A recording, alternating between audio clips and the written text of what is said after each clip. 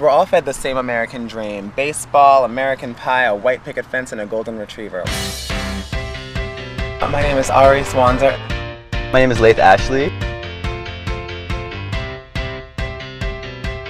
I am a singer, songwriter, dancer, actor, and all-around entertainer. I'm actually in the middle of filming uh, my first a scripted show that I'm producing uh, called Fish Tank. I signed with Ford Models LA a couple months back, um, right before I, I moved here. I want to be a supermodel with a mint green Lamborghini in the Hollywood Hills. I came out at 17 and I was the prom king of my high school, not as a joke, because I won fair and square. I was going to play professional basketball as a woman um, overseas and in Europe. I do consider myself a leader, not a follower, and I do believe in doing what's right versus what's wrong uh, regardless of profit, Mr. Trump. Um, I went there. So the first question that I'm asked, what's going on downstairs? Have you had the surgery? Have you had the surgery? When people ask us about surgeries and our bodies, it's no different than asking any woman you pass in Beverly Hills. Like I would never ask X about her breast her breast surgery.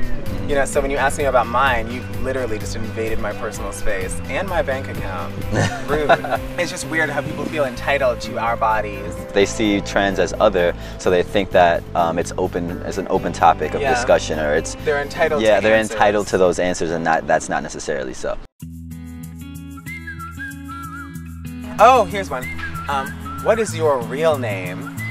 And I'm like, it's Arisce.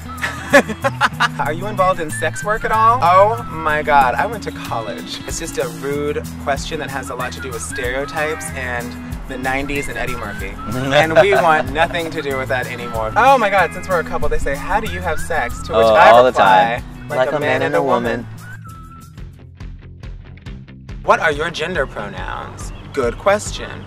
You know, if someone is gender non-conforming, they can go with they, them, there. But it's always about respecting that person. It's just about pronoun. respecting the person's pronoun, yeah. and it's personal. How are you doing?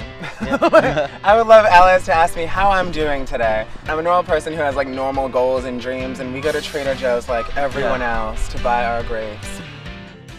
What I would tell young trans people um, who are living at home with their families, make sure that before you come out, that you are in a safe place and you're in a position to care for yourself. There are hotlines and there are services, there are groups where people can gather um, that are like-minded and you can listen to each other's stories and um, you get that sense that you're not alone. If you uh, have a friend that's marginalized or different from the, what's considered the norm, you listen to that person's experience because that's the only way you're going to learn. People do a lot of talking, not a lot of listening.